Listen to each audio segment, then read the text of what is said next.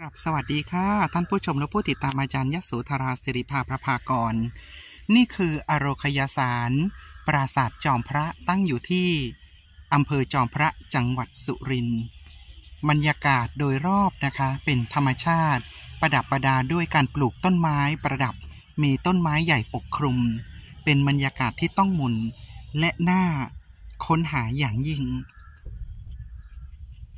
ที่นี่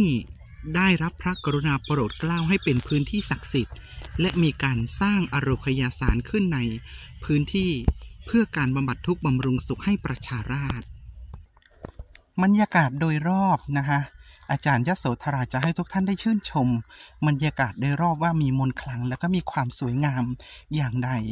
ที่นี่ดีมากนะคะ มีการรักษาความสะอาด และมีการกวาดทำความสะอาดอยู่ตลอดเวลา จึงทำให้องค์ปราสาทนะฮะอารคยสารมีความสวยสดงดงาม และเป็นเสน่ห์อีกอย่างหนึ่งเพิ่มความความขลังความน่านับถือให้กับพื้นที่แถบนี้ไปอีกทางหนึ่งด้วยอโรคยสาร ปราสาทจอมพระนี้ โปรดเกล้าให้สร้าง โดยพระเจ้าชัยยวรมันที่ 7 มีวัตถุประสงค์เพื่อที่จะบำบัดทุกข์บำรุงสุขให้ประชาราษฎร์และใช้เป็นสถานพยาบาลในการรักษาโรคนั่นเอง การผสมผสานการรักษา อาจมีการรักษาด้วยมนตราหยูกยา สมุนไพร และพระเวท พร้อมทั้งการสวดมนต์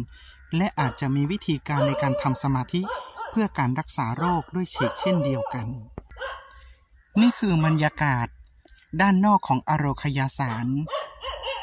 ปกคลุมไปด้วยต้นไม้สีเขียว ทัศนาการดูสวยงามอย่างมากนะคะ ด้านหน้าจะมีต้นตันประดับอยู่ด้วยและเกิดขึ้นมานานแล้วด้วยนะคะ มีเสียงหมาหอน ต้อนรับ มีเสียงกระเต และ สัตว์อื่น ๆ อันมี